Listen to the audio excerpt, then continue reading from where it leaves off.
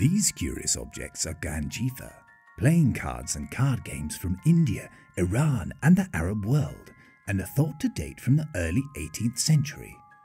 Made of tortoiseshell and finely decorated, they must have belonged to someone absolutely minted.